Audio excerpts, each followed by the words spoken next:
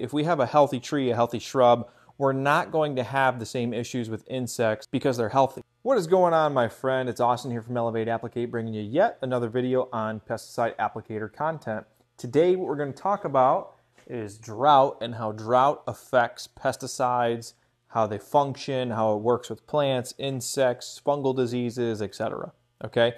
And the reason why I'm bringing up this topic is because here in Michigan, we've gone uh, roughly 19 days without rain in my particular region. It actually it just rained today for the first time in, like I said, about 19 days. Uh, on the west side of the state, my mom lives up there. She lives on a lake, and her lake is probably down six feet vertically. So just a, a grasp of that, that's like a 140, 160 acre lake. And for a 160 acre lake to drop down six feet, that is a substantial amount of water that's being displaced, not being replenished. It's going to affect our trees, our grass, our shrubs, the forest, I mean, everything and anything, right?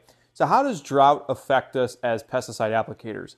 Well, for one, we're going to see an increase, try and draw an arrow here, in insect activity. And the reason for that, generally speaking, is because once we have a drought, um, it's usually dry, it's usually warm, and warmth creates the breeding grounds for insects to breed multiple generations if they are an insect for multiple generations.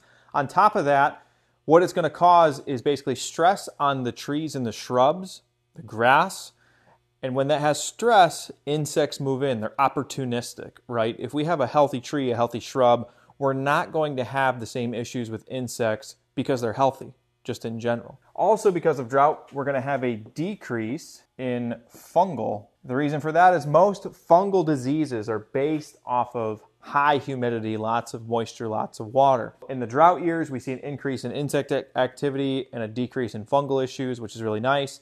Think of like apple scab, right? If we had a drought during the time of apple scab, and if you think of the disease triangle, you have a tree that's susceptible to the disease, but you don't have the conditions that are right for the disease, and so they tend to not get apple scab as bad or at all.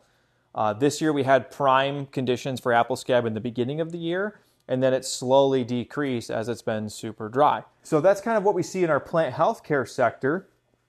Now, what do we see as far as herbicides, right? How do herbicides function? So, herbicides work kind of interestingly with droughts, and it depends on where you are in the drought. If you're at the beginning of the drought, herbicides are going to function pretty much the same. Um, they're still going to go through the processes. The, tr- the whatever you're applying it to is still going to go through its natural states when the herbicide triggers those hormonal responses inside of it. But when you get to the point that the plant has to decide what it's going to do, is it going to conserve water? Is it going to stop growing? Is it going to shut down certain systems?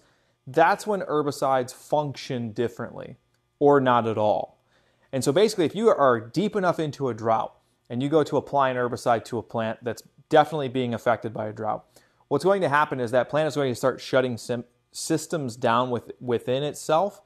And that's to basically keep itself alive, right? It doesn't want to reach that permanent wilting point. If you don't know what that is, that's basically the point where the plant completely dies because there's zero water, right? Permanent wilting point is plant death. So the plants are going to do everything that they can to not die. And when you get to the point where you're in the drought, I deal with a lot of poison ivy, and I've dealt with poison ivy in droughts with tons of rain. And I can tell you that if I apply an herbicide to poison ivy in a drought, it is not going to be as effective. It's going to take longer for the plant to display symptoms.